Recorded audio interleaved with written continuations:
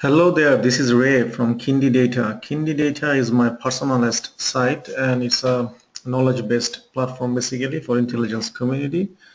Uh, I'm a data scientist and I'm working for US government. So today I will show how we can run some basic SQL queries on Spark running on HDInsight uh, on Azure.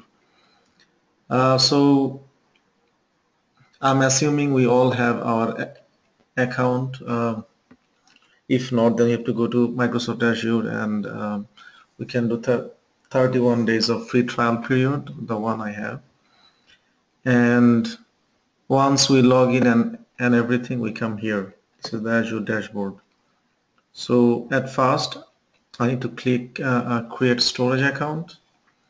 So we go to new storage. I use this one we fill up all those informations here and we create. I have already one storage account created which is let me come here. I have one account created here Medicare R. So I'm gonna continue use continue using that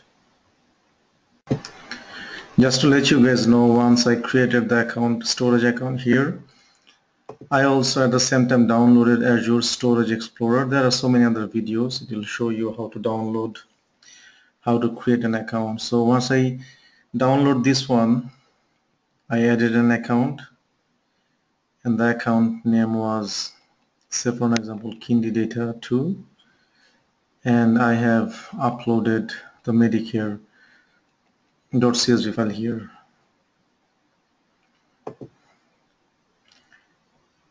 It's basically the same file. I'll use this one instead of Kindi Data when you when you when you create an um, storage account here it will ask for the key key to connect this Azure Explorer and and uh, the storage account on HDInsight this is the key information. The storage account name and it will generate the key. Just key one is fine. So once everything is created then we go back to new again. We create analytics this time. We to run analytics on Spark HDInsight say for an example I will create an account name Kindi data 6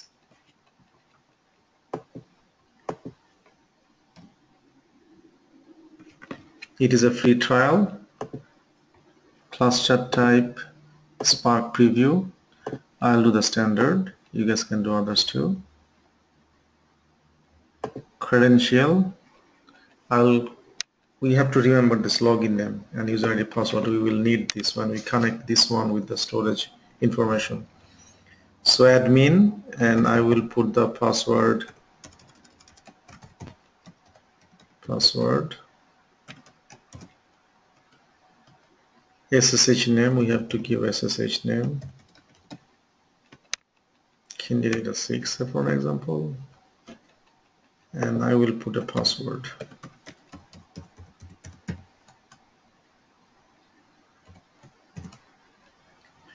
and select. Data source this is where we have to define the data source. I will use existing one. And the existing one I have created is Medicare R.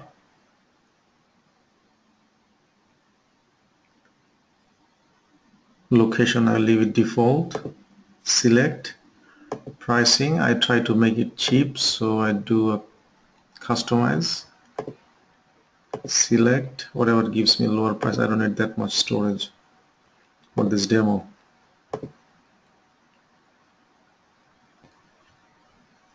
Create new resource group. You, you guys can create new as well. I will just use the existing one. I have one created. I'll pin it to the dashboard and create. Pricing information was not correct. Something was wrong there. Okay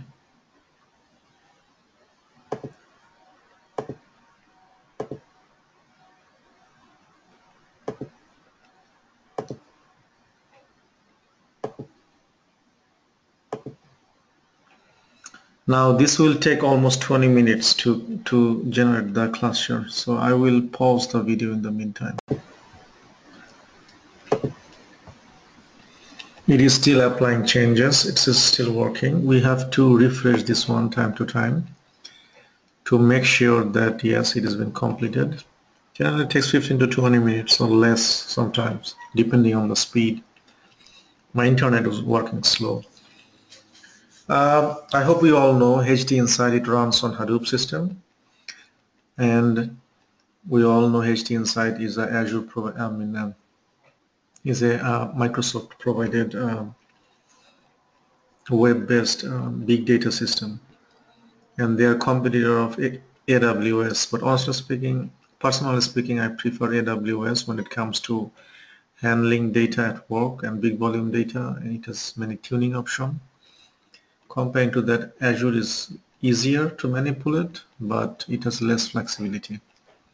So if this for personal use or small project Azure I would recommend Azure. If it is big project serious volume of data I would recommend AWS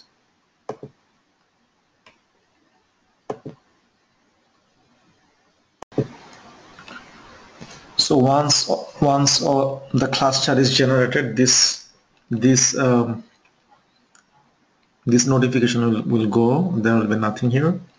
Then we will click cluster dashboard. It will pop up a dashboard here. Generally it shows another notebook. There is a notebook here. The dashboard spark history server. Our major uh, focus is here the notebook. There are two notebooks here generally Jupyter notebook and Zeppelin notebook maybe it is because it's a free account that's why it's not giving me Zeppelin. So anyway we will use Jupyter. We need the notebook to run Spark commands on it. So once we click the notebook then it will bring us to this page. That's and it, it it's asking for the authentication. It's basically the cluster user ID and password. I'll plug the user ID and password here login uh, it's not invalid response because this task has not been finished yet. Applying all the changes or generation of the cluster is not done yet. So I will still wait. I'll pause the video.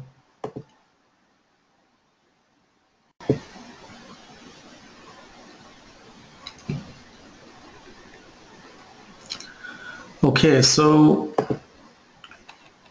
once once um, the cluster has been created it is all all done then we go to clusters dashboard Jupyter notebook. And this is on Scala this is on Python. Python basically this notebook offers running Spark on Python and Spark on Scala. I prefer Python so I will upload a notebook to run the Python script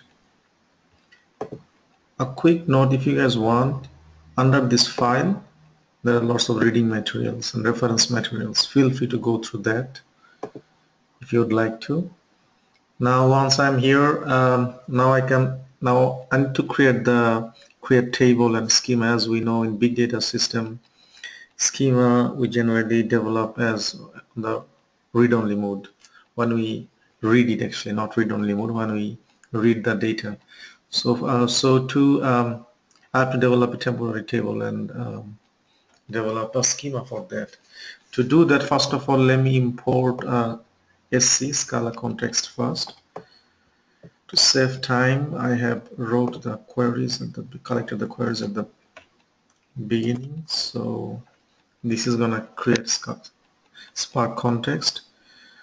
A quick note: uh, when Scala is uh, Python is uh, still running. I'm sorry, it's not Scala context, Spark context. Python is still running.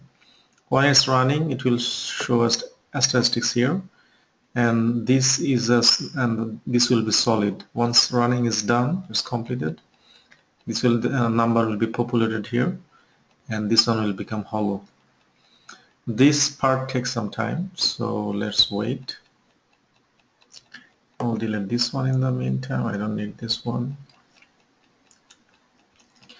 I also upload this command in um, in this personal site of mine. Uh, feel free to visit that when you have some time or if you want to see them as reference.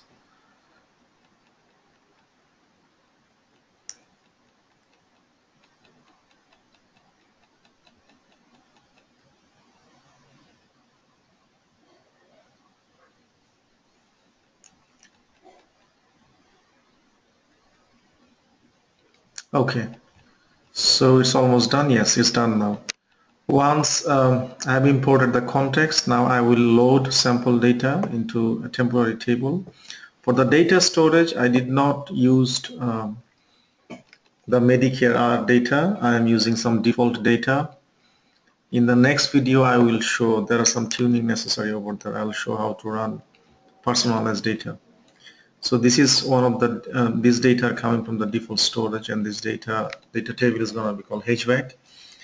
Uh, Jupyter has built-in HVAC uh, data, data, some sample data so that people can play around. I'm using that. I'm creating temporary table. This is done running. And now I'll create schema. As you guys can see the schema the HVAC is the table name. This is the schema and this is the structure type. We can define the tape uh, column here date time uh, target map and the types of is their string or their integer and so on. It will not null, null value will be false. So we run this one here. That was quick and then we're gonna create mapping.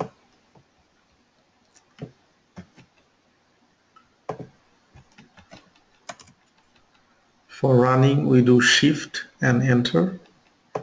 Once we copy and paste or, or write the syntax we run uh, shift and enter. Now I will create a data framework based on the table and the schema. Table name schema name and this part takes a little bit time not as long as the import function import function. Once running is done I'm gonna register this one. Uh, still running. As we can see solid statistics. Regular expression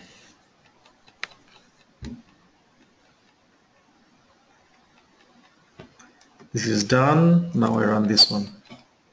Okay this is ran too. So the table is registered and it's ready. I can do SQL queries. I can do Spark. I can do um, machine I, I can run machine learning algorithm on this table as well. So for today I'll do only SQL. So let's do SQL SQL. Select all from HVAC is the table name. Shift enter.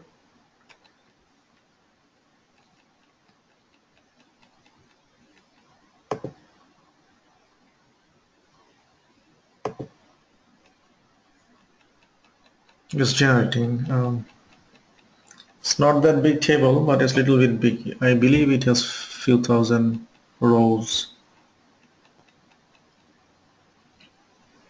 and it, and it is my internet speed too my internet speed is a little bit slow today. So it's returning values slowly.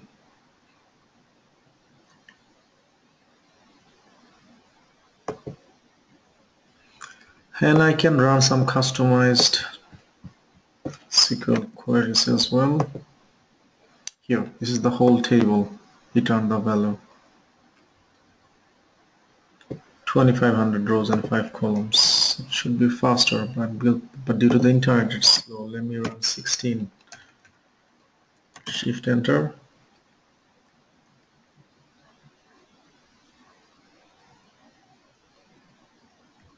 Okay this was quick. 414 now we can see this in table format. This query it basically runs date time building ID actual temperature. You can do subqueries as well just like regular SQL SQL uh, server SQL developer uh, platform interface. So the good thing is there are other options. This is a kind of BI functionality. It brings pie diagram, scatter diagram. We can do so many. We can do even log. can do lines, line diagram, bar diagram, area diagram and so on. And you can run as much queries as you want.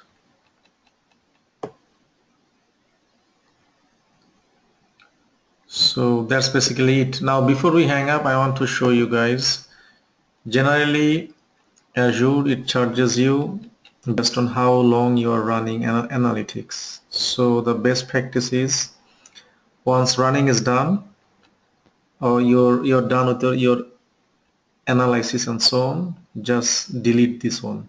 If you delete then it kills the cluster cluster and you are not charged anymore. So once you're done you delete this one this this cluster will be closed and on your dashboard it will show as deleted. The cluster name and deleted.